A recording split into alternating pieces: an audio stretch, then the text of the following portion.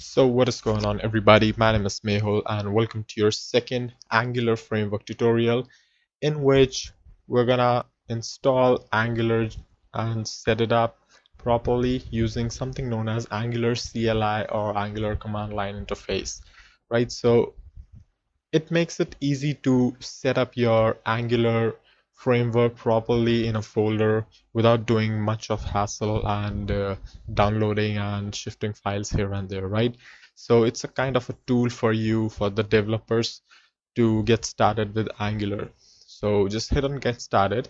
And i'm just showing you sort of the documentation way. So even if something changes in the future which probably should not now then you are actually good to go yourself. So right now it says me CLI quick start here.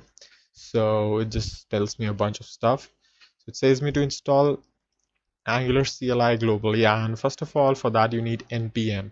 So if you don't know what this is or um, you know you have no idea, what I want you to do is go to this website nodejs.org right? And download the latest release for your operating system.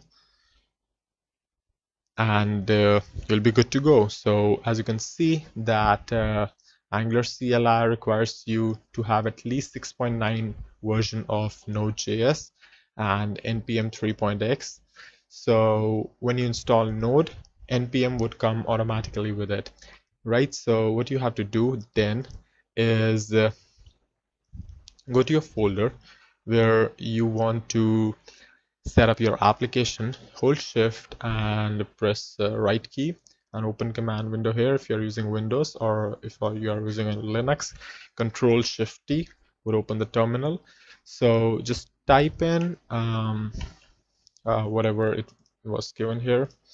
Just copy this line and inside the terminal just paste it and hit enter.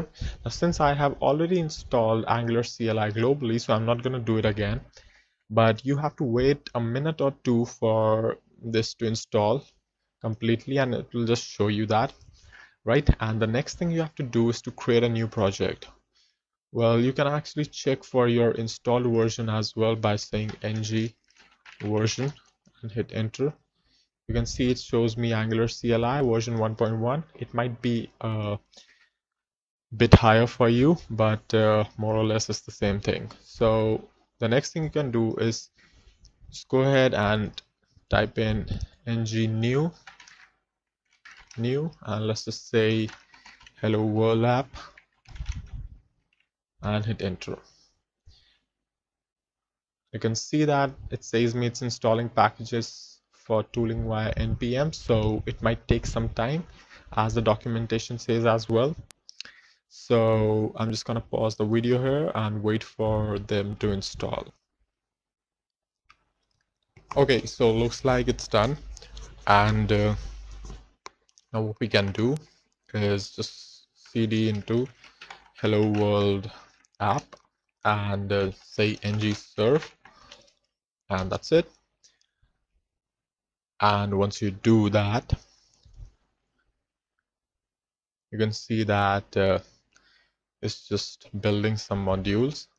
And it says me to open localhost 4200 and it's using webpack which is nice.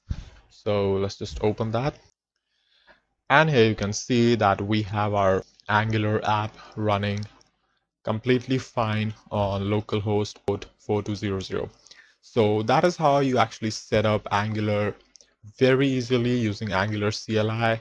And uh, yeah, that's all for this tutorial. And in the next one, we're going to see a little bit of structural overview of what Angular CLI has done and how we can actually modify it a little bit so that we can get started with our own programming. So that's all for this one. And if you liked it, then don't forget to subscribe. And thank you for watching. I'll see you then in the next one.